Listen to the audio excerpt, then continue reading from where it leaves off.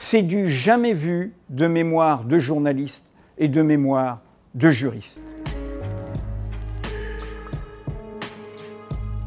C'est une attaque sans précédent contre la liberté de la presse.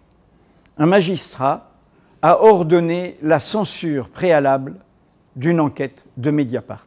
Antionne Rouget, du pôle enquête de Mediapart, s'apprêtait à révéler de nouvelles informations sur les pratiques politiques en vigueur à la mairie de Saint-Étienne autour de son maire, Gaël Perdriau, un maire Les Républicains, dont nous avions dévoilé que son entourage avait pendant plusieurs années pratiqué un chantage à la sextape, à l'intimité privée, contre son premier adjoint centriste, Gilles Artigue. Ces révélations dévoilaient des pratiques tout à fait discutables, condamnables.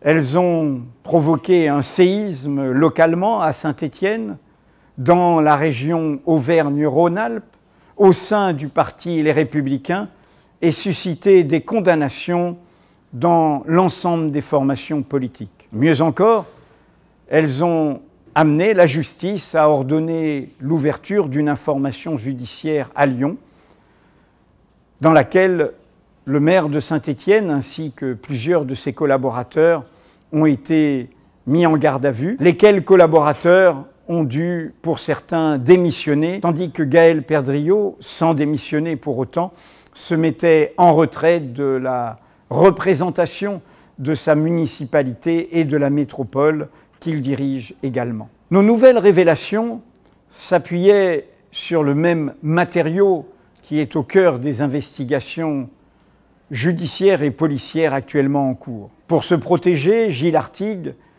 avait réalisé des enregistrements dans un cadre professionnel, puisqu'il s'agissait du bureau de l'hôtel de ville, des réunions de travail autour du maire de Saint-Étienne, enregistrements qui démontrent l'ignoble chantage dont il a été victime. Nous nous apprêtions à révéler de nouveaux éléments, de nouveaux enregistrements révélant à nouveau des pratiques politiques tout à fait condamnables, à l'encontre cette fois d'une personnalité politique nationale, potentielle présidentiable, Laurent Vauquier, le président Les Républicains de la région Auvergne-Rhône-Alpes. Notre article était prêt. Il avait rempli toutes ses obligations professionnelles et légales la légitimité de ces révélations, leur intérêt public, leur intérêt général, le droit de savoir des citoyens et des citoyennes sur ces pratiques politiques, le respect du contradictoire. Nous avions sollicité toutes les personnes concernées, le maire de Saint-Étienne et la personne qui était victime de ces pratiques, Laurent Vauquier, le président de région.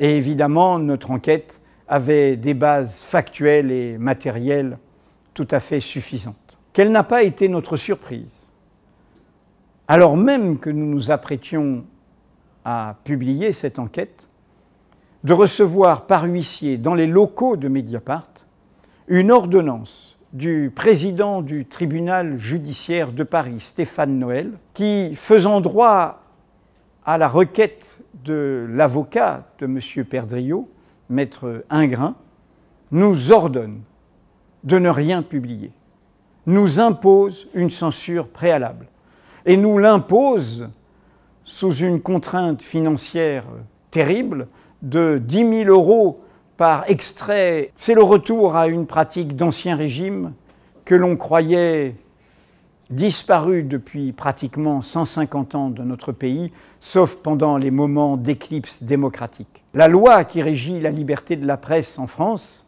la loi du 29 juillet 1881, cette loi d'immense conquête républicaine, a un article premier qui dit La librairie et l'imprimerie sont libres. Autrement dit, la parole et l'écrit sont libres. Nous pouvons, nous devons et il nous arrive évidemment de rendre compte devant des tribunaux de ce que nous avons pu écrire. C'est la règle du jeu. Nous ne sommes pas au-dessus des lois. Mais nous le faisons dans une audience publique, en faisant valoir nos arguments, en répondant aux arguments de ceux qui nous poursuivent, qui nous assignent.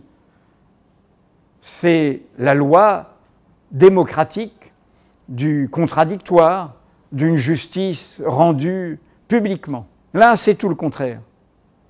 C'est le retour au pire secret de l'arbitraire. Dans le secret de son cabinet, le président du tribunal judiciaire de Paris a fait droit à ce que lui demandait une autre personne, l'avocat du demandeur, maître Ingrin, au nom de M. Perdriau. Aucune sollicitation des arguments de Mediapart. Aucune occasion de faire valoir nos arguments.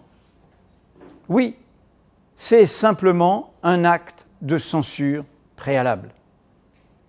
C'est du jamais vu dans l'histoire de la presse. C'est du jamais vu de mémoire de journalistes et de mémoire de juristes. Nous avons évidemment demandé à nos avocats de contester cette décision, d'utiliser tous les moyens juridiques pour euh, l'annuler, pour que vous ayez le droit de savoir ce que nous allions révéler, de connaître ces nouvelles révélations d'intérêt général. Et nous allons aussi demander à l'ensemble des élus, des avocats, des citoyens, des partis politiques, des confrères, des consoeurs, des médias, attachés à ce droit fondamental qui n'est pas un privilège des journalistes, qui est le droit de tous les citoyens de savoir ce qui est d'intérêt public, eh nous allons leur demander de protester avec nous contre ce retour à un arbitraire sans précédent, à une censure préalable, à une censure d'ancien régime qui annule un droit fondamental conquis par notre République. Mediapart.